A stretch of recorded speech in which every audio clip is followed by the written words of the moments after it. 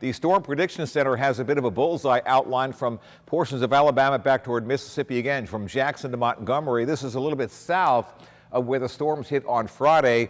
So, uh, but again, still a, a, dangerous, potentially dangerous situation across the uh, deep south, especially Mississippi, Alabama, maybe over toward Georgia as well later today. Folks, they're on high alert for the possibility of more dangerous and deadly tornadoes. Uh, for us, our Vipercast model uh, beginning at 9 o'clock this morning, and we're going to stop this at 1 this afternoon. Noticing just a few scattered little clouds out there today, primarily a southerly wind, but there'll be a little bit of a, a sea breeze as well, pushing the clouds off to the west so it'll be sunny at the beaches, partly cloudy skies over the western suburbs and out toward the lake as we head toward 5 o'clock. And by 9 o'clock this evening, just a couple of scattered showers northern Okeechobee County around Fort Drum, and that's about it. Everybody else should stay uh, pretty much high and dry uh, out there today, but it's going to be a really warm day 90 at Wellington, 88 Indiantown, 88 West Palm, 89 Boca, and 86 for the high in Fort Pierce, about 5 to 7 degrees above where we should be for this final Sunday of March. Small craft caution for the Palm Beaches out there today. Seas uh, pretty much on the calmer side uh, for the Treasure Coast. Two to three foot seas and the Intracoastal a light chop today.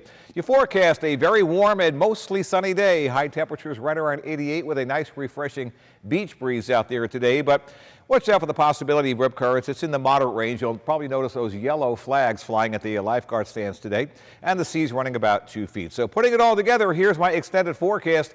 88 today, tomorrow, and Tuesday. A weak little front gets in with a chance for some very welcome showers on Wednesday, then breezy, and we'll call it cooler, even though it's still warm on Thursday and Friday.